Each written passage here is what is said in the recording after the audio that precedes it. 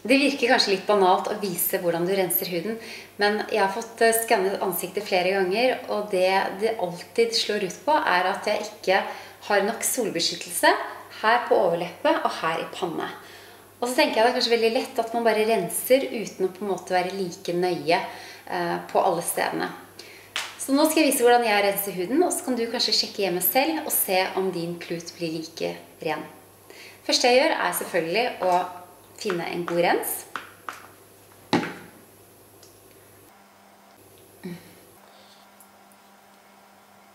Når det kommer til renseprodukter, så er det viktig også å få gnidd de ordentlig inn i huden. Masser det godt inn.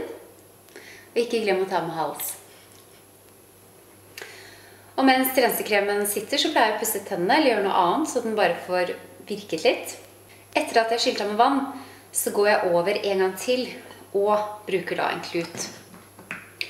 For det jeg ofte føler med vann, er at eh, selv om du skyller og skyller og skyller skyller og bruker hendene, så får man ikke vekk alt. Det blir liggende på overflaten.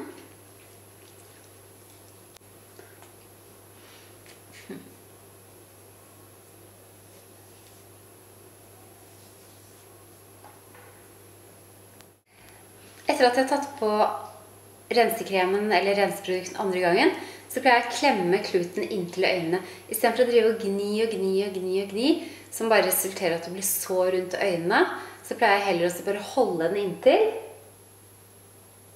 Bare tappe. Hvis du bruker en klut, så er det mye lettere å få bort alt. Så får man liksom skrubbet litt samtidig. Så er det veldig, veldig, veldig behagelig.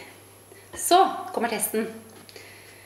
Med litt tonicvann så er det veldig lett å se om det er noe igjen. Så det siste jeg gjør, er å bare gå over med litt bomull.